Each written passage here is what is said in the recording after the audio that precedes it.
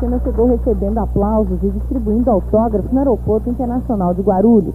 Todos queriam chegar perto do campeão, mas Senna, com seu jeito tímido, procurou primeiro a família para comemorar com abraços a vitória de ontem. Ainda na festa da chegada, Senna recebeu uma bandeira do Brasil e, junto com ela e com a sobrinha Bianca, posou feliz para os fotógrafos cinegrafistas.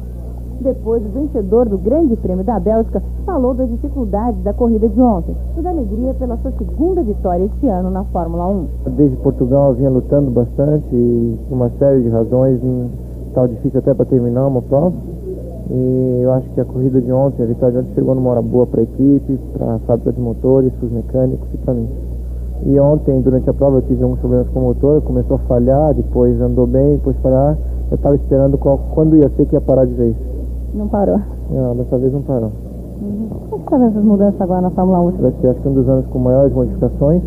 E isso vai trazer muitas novidades, principalmente no início do ano, até a maioria dos pilotos se ajustarem às novas equipes. Então, aquele que estiver mais ajustado já logo de cara é quem vai ter alguma vantagem. Quanto ao Grande Prêmio da África do Sul, você deve correr lá, mesmo existindo essa recomendação do governo brasileiro para que não haja nenhum intercâmbio cultural nem esportivo com a África do Sul? Não concordando com a situação lá, eu não correria, mas eu tenho um contrato com a Lotus, eu sou um profissional e tenho que, eu tenho que cumprir esse contrato. Então você deve correr lá? Não, eu acho que a prova não, deve, não deveria ser realizada pelo perigo que representa para todo mundo que vai para lá e pela situação, ah, digamos, errada que está acontecendo no momento. Mas nem tudo está ao nosso alcance.